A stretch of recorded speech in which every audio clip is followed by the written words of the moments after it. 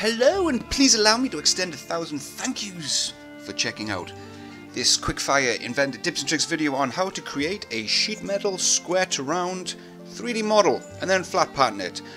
Right, before we get started, I assume you know a little bit about sheet metal. If you don't, please check out my other video on how to get started with sheet metal, which will show you how to set up your styles. Once you're okay with creating styles, go ahead and create a new sheet metal part file.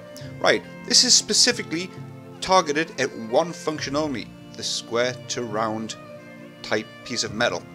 So to get going, what we're going to need to do is create a sketch, and just for just for clarity, I'm working on a 2 mil thick piece of aluminium here.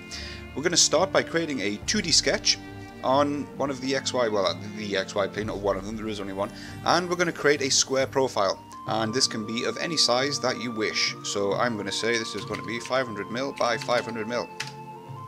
Okay, that's essentially the bottom of the square around. I need to create the top, the circular profile that this is going to blend into.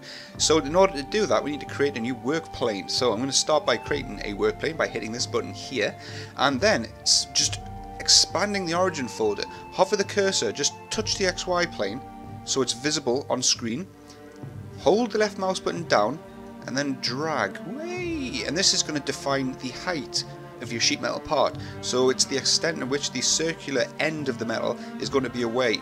So let's say 1000 so it's going to be a meter.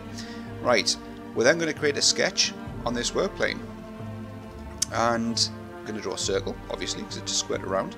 And this will be say 200 mil.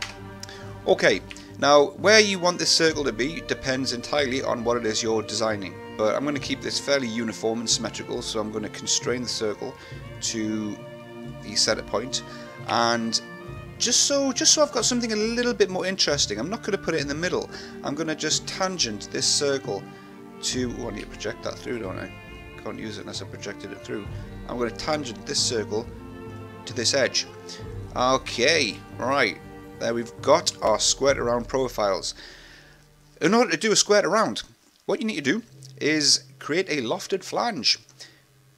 Select the first profile, then select the second profile, and whoa, look at that. So we've got two different outputs. We've got a die formed and we have a press brake profile, uh, well output depending on which one you select, you're going to get a different end result. But I guess you're you're the guy who's designing this and is going to ultimately instruct someone to make it. So I suppose you're going to know which one you want, and then you press OK. And look at that! There is your sheet metal squared around. Right, I'm going to get rid of this work plane because it looks hideous. It's insulting my eye holes. Alright then, so how do we get it made? How do we get a flat pattern of this? Well, if you select create a flat pattern, it just goes blurg. It gives you a big fat blurg in your face and it can't do it. Right so let's undo. Why can't it do it? Right well it can't do this they can't do the flat pattern because there's no break in the metal. It's got nowhere to flatten out from. So in order to do this in order to give it a reference to to let it flatten out we're going to utilize the rip command. This is going to rip a gap in our metal and allow us to create the flat pattern. So what we're going to do is select rip we're going to pick a face, and well, I guess it, it's entirely it's it's circumstantial as to which face you pick, but I'm going to pick this one here. And then you're going to pick the point where the rip's going to start, which is going to be this point here. And we got a preview, a little red preview showing where it's going to create the rip. And then we go ahead and click OK. Look at that. Isn't that just delicious? Then we can go create flat pattern and there's our flat pattern of our squared around profile, which we've now got a folded model of and a flat pattern. And then just for just for clarity, I guess, when it comes across into the drawing environment, well, I can't create a drawing of it until I've saved it. Numpty, let's just put it on the desktop. And then we can create a base view of either the folded model or we can select the flat pattern. Oh, isn't it beautiful?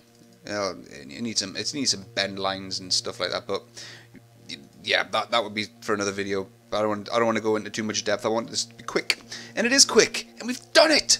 So thank you very much for checking this out. Hopefully this did give you an idea on how to create a square around sheet metal part and then how to flatten it out.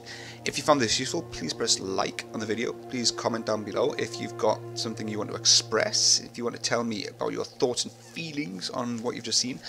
And please subscribe to the channel. It does help me out. The more people subscribe, the more I realise people are actually taking notice and find this content interesting.